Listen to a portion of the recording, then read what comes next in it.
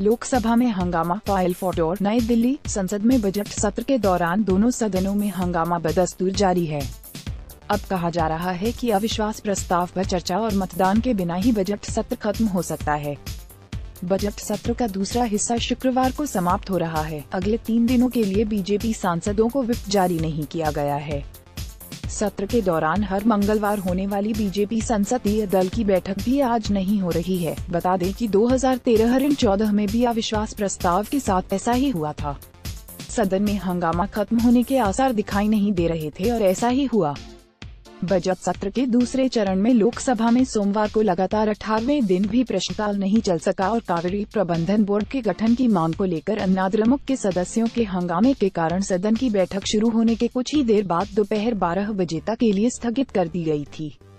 सुबह सदन की बैठक शुरू होते ही अन्ना द्रमुक के सदस्य पिछले दिनों की तरह हाथों में तख्तियाँ लेकर आसन के समीप आकर कावेरी प्रबंधन बोर्ड के गठन की मांग करते हुए नारेबाजी करने लगे। अन्ना प्रमुख सांसद जोरदार तरीके से वी वॉन्ट जस्टिस और वी डिमांड कावेरी बोर्ड के नारे लगा रहे थे। लोकसभा अध्यक्ष ने सदस्यों से अपनी सीटों पर जाने का आग्रह किया लेकिन हंगामा जारी रहा। उधर तेलुगु देशम पार्टी के सदस्य अपने स्थानों पर खड़े होकर विरोध दर्ज करा रहे थे, जो बजट सत्र के दूसरे चरण की शुरुआत से ही आंध्र प्रदेश को विशेष राज्य का दर्जा दिए जाने की मांग कर रहे हैं। वे हमेशा की तरह पीली पट्टिका डाले हुए थे और आज काली पट्टी भी पहने हुए थे। इस बीच कांग्रेस के कुछ सदस्यों को अपने स्थानों पर खड़े होकर कुछ कहते देखा गया।